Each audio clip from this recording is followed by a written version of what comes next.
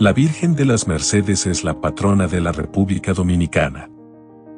Su devoción por parte de la población católica del país se inicia casi desde el descubrimiento de la isla.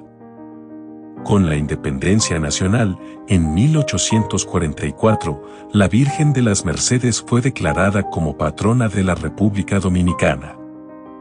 Cada 24 de septiembre se ha convertido en una tradición y miles de devotos de diferentes partes del país y el mundo acuden en peregrinación desde el pueblo de La Vega hasta el santuario del Santo Cerro para adorarle, venerarle. Ofrecerles votos y promesas, especialmente por la salud, con la esperanza de obtener algún favor suyo.